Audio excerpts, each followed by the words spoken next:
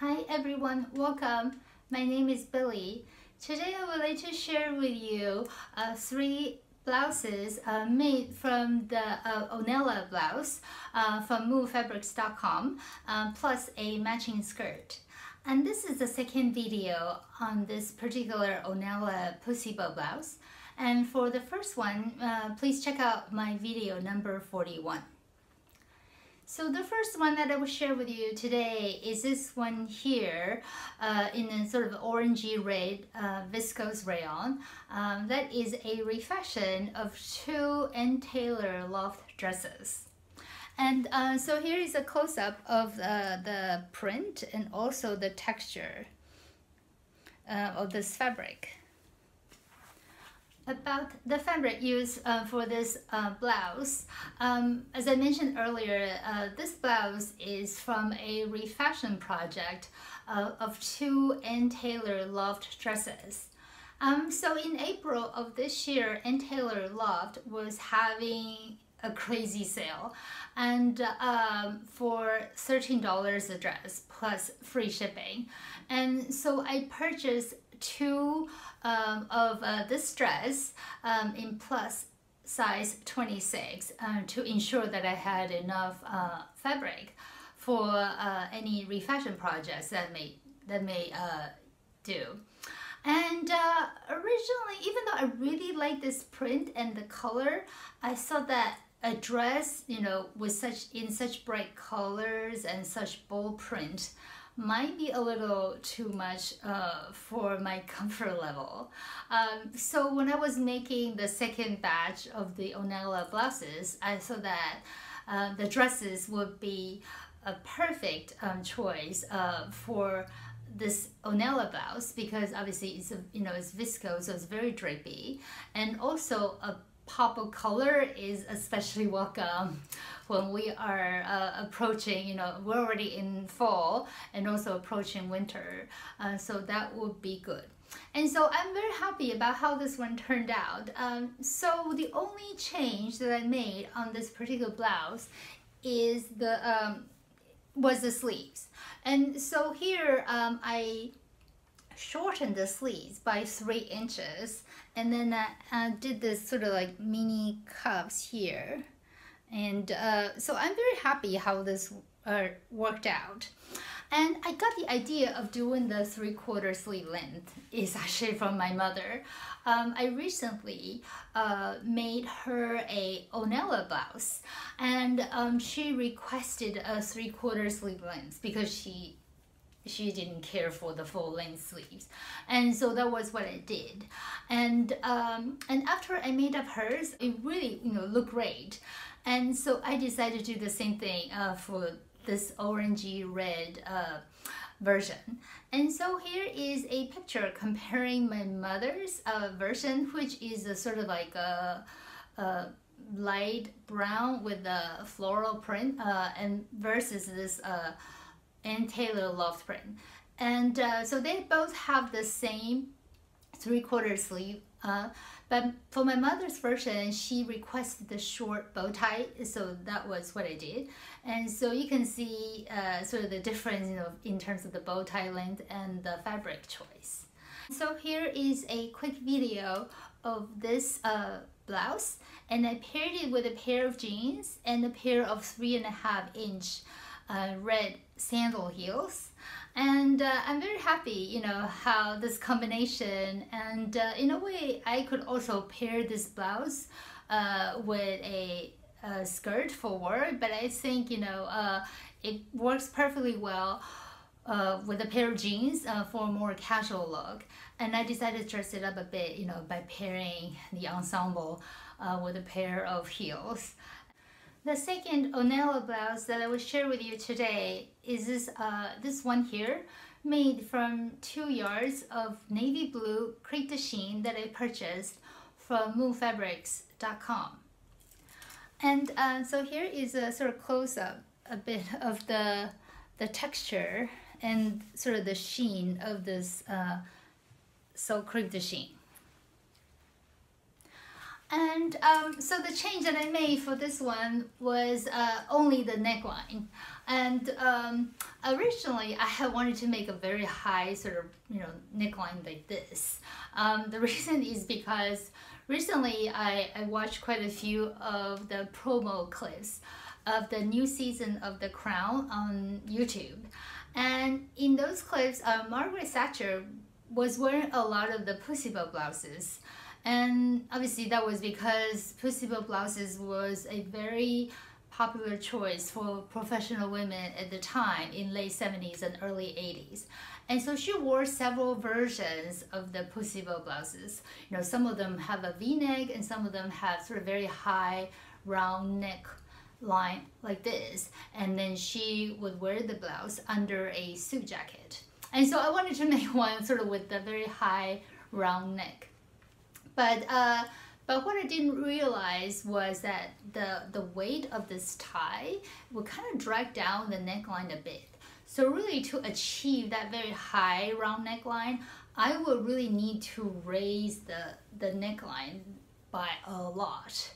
And but I didn't do that, so now it kind of still looks like a little mini V-neck still because of the weight of the the bow tie. Even though originally I cut it as a uh, round neckline. So here you can kind of see.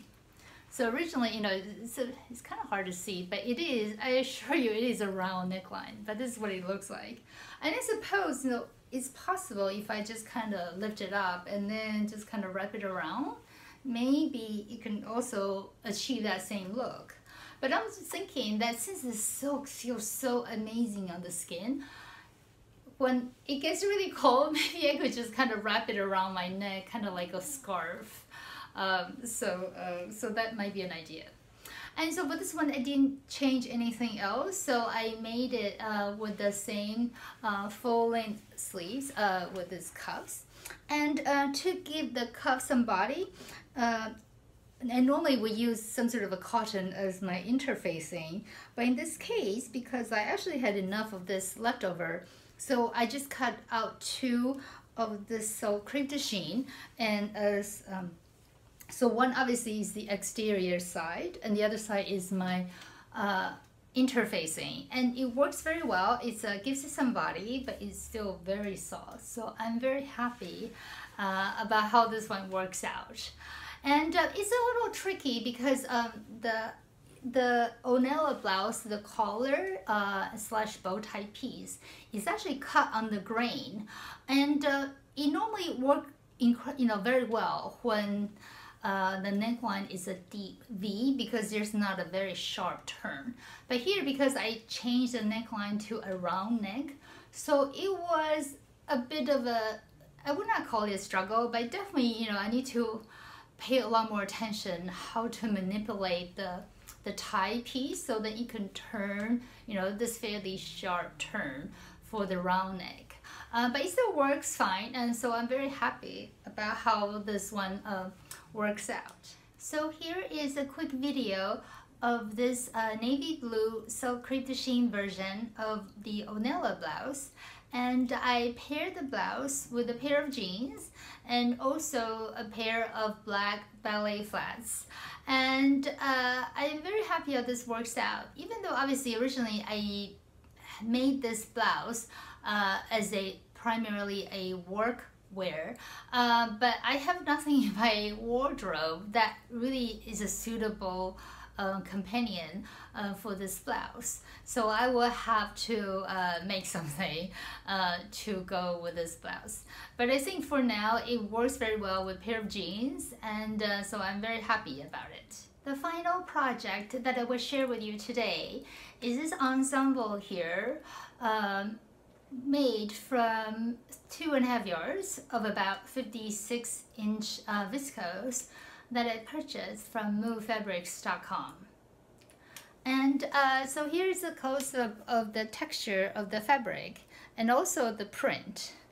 Um, so, you know, talk about living on the wild side. Um, even though normally this um, animal print is generally not my thing, but somehow when I saw this on the website, I just really liked it. And um, so I bought two and a half yards of this fabric. And, uh, and so that's, you know, what I use for this ensemble. And um, the reason I wanted to make an ensemble is because I wanted to have a very cohesive look. And so similar to the cotton voile uh, ensemble uh, that I talked about in uh, the first Onella blouse video, video number 41, um, so that you know that's what I wanted. Uh, but because I only had two and a half yards, and because this blouse took took up about almost uh, two yards of fabric, so I knew I needed to be very economical in uh, in choosing the the skirt pattern. And so I turned to uh, my tried and true uh, new look 6843 pattern, uh, view A. And view A is a bit of a quarter circle skirt. And I have previously used this skirt um, in countless um, dresses that I have uh, made before. Uh, more notably, the winter wool uh, no dart dress series, and also a lot of the uh, the fall FAUX shirt dresses that I made over the summer. Uh, but I think finally I have used um, the perfect fabric for this skirt because um, finally, uh, because of the drapiness of this viscose fabric, um, you really can see the uh, sort of how the fluidity of this um, skirt. And uh, and also it doesn't puff out too much because when the fabric has too much body it kind of sticks out a bit like this but I think this is a much more uh, flattering silhouette on me so I'm really happy about this one here so so this is what it looks like. And for the skirt, I also did the same thing, you know, with a little tab overlapping. And, uh, and so, you know, one, I uh, secured it with one uh, button here. And uh, so this is what it looks like. And actually I had enough fabric left over, so I was able to cut out uh, pockets. So for this. One thing I never understood is that the, uh, the pockets uh, which is from the very easy Vogue V197 pattern, they have you only cut out two pieces from the fashion fabric, which I thought was odd because then the other, the uh, one side of the pocket would be the, the fashion fabric and the other side will be the lining, which I thought made no sense. So I just cut four pieces uh, of the fashion fabric uh, to make the inseam pockets and so that's what it is and um and also one thing i did was because the uh the i because this, a standalone skirt should fit a bit closer to the body than if the skirt um, is part of a dress. And so to make it more fitted i added two darts here. So i removed about an inch and a half of the uh, the circumference from the waist. So then it just fits a lot better you know it's much more fitted. So really not a whole lot of ease really uh, but I think that's how a skirt um, should fit. And so I'm very happy about how it turned out and the only uh, change that I made for this version is the the sleeves so for this one I because I you know was so happy how uh, the sleeve uh, from the red uh, Taylor loft dress re, uh, refashion came out. So I wanted to do something similar, but instead of doing a three-quarter sleeve length, I thought I would do it maybe, you know, like a 90% kind of sleeves. So in this case, I, I shortened it by about an inch and then added the cuffs.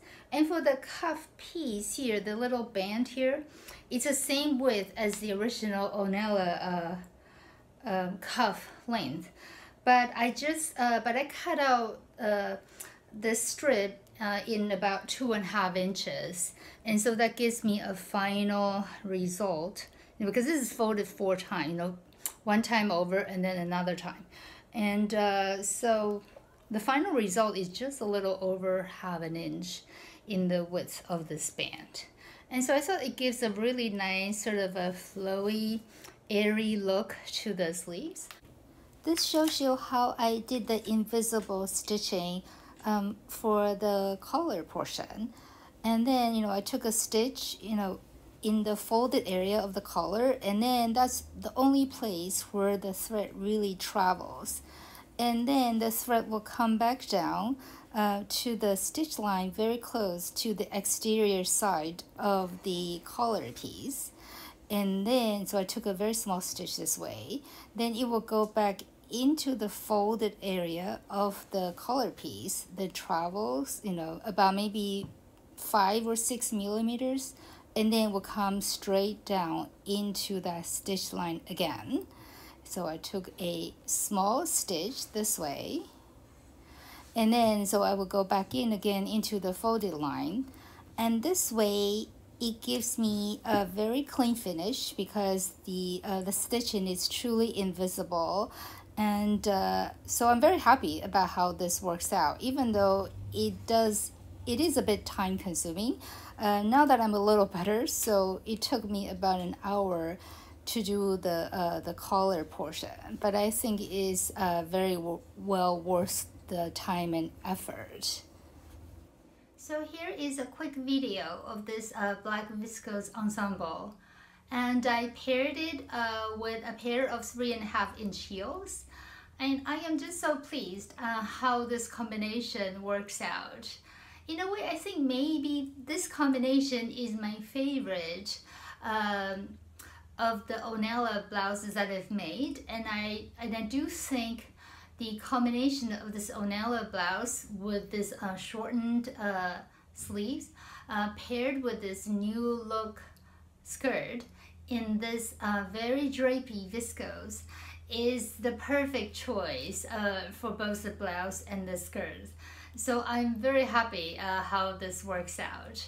And even though originally I was concerned that this print might be a bit too busy, but now I, you know, those concerns were no longer here. I'm very happy how this works out and uh, it looks perfectly professional if I needed to wear this for work. But also I think it's equally uh, suitable uh, for say dinner uh, dinner out with friends, etc. Uh, so I'm very happy, and I think this may be one of my favorite garments that I have ever made so far. So these are the three Onella blouses uh, plus a matching skirt that I recently made. And uh, as you can see, you know, by changing up the sleeves options and also the neckline a bit, um, this very basic pattern uh, is incredibly versatile. So I am so happy that I tried it and I hope you will give this free sewing pattern uh, a try too. And uh, thank you so much for watching and I hope you will stay safe and I hope I will see you soon. Bye bye.